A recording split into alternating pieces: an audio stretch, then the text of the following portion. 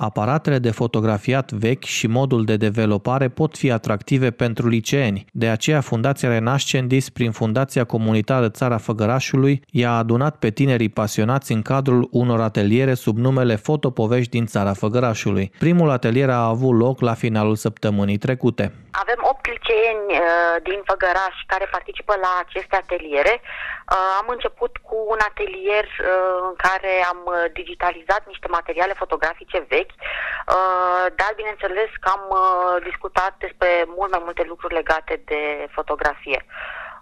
În primul rând am învățat să privim niște imagini vechi, să recunoaștem locuri din Făgăraș, să vedem cum s-au schimbat ele. Am discutat un pic despre cine erau oamenii care făceau aceste fotografii, deci despre fotografi și ateliere fotografice uh, de pe vremuri din Făgăraș. Am discutat și despre cum a evoluat un pic tehnica fotografică. Um, tinerii au putut să vadă diverse uh, suporturi, filme, clișee, negative, fotografii vechi, cărți poștale vechi și așa mai departe și am învățat lucruri despre cum să conservăm aceste obiecte, cum să le păstrăm. Firește că și digitalizarea până la urmă este un proces necesar pentru, în primul rând, conservarea și protejarea materialului fotografic vechi, având uh, ceea ce numim noi copia digitală, înseamnă că tot mai multă lume are acces la imagine fără a deteriora practic obiectul vechi.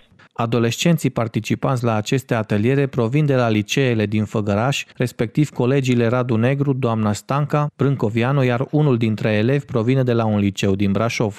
Dacă vremea și condițiile uh, epidemice ne permit, urmează chiar o întâlnire în aer liber, o mică sesiune de fotografiere prin centrul Făgărașului, cu aparate fotografice mai vechi, deci fotografiere pe film. Ne dorim de asemenea să avem și un atelier în care să developăm împreună cu liceenii filmele, ca ei să poată avea fiecare câte un exemplar din fotografiile pe care ei le fac și urmează și mai multe întâlniri online în care o să învățăm să concepem împreună o expoziție uh, de data aceasta virtuală, inclusiv cu material pe care ni-l pot furniza chiar ei, pentru că au și o mică temă pentru acasă, ca să-i spunem așa, să găsească în albumele de familie sau în arhive, în sertare, în poduri și așa mai departe, să găsească ei înșiși uh, fotografii realizate oriunde în țara Făgărașului pe care să le discutăm, uh, să le aflăm poveștile și din care să facem o selecție pentru această